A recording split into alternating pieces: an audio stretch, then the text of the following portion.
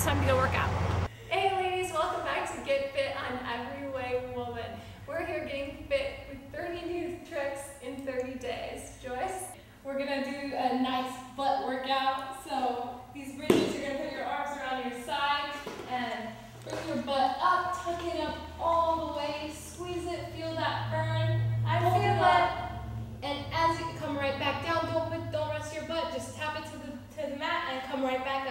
And if you want to make it a little more challenging, you can hold your arms to the side, elbows off the ground, come back down, squeeze back up. What if I just hold it? You can hold. I usually like holding it as the last, um, my last rep, and just letting it burn. Hold it for about 30 seconds as your last rep, and you'll feel that burn fully and get the full capacity out of the workout. I feel the burn. Stay tuned. More getting fit here on Every Way Woman.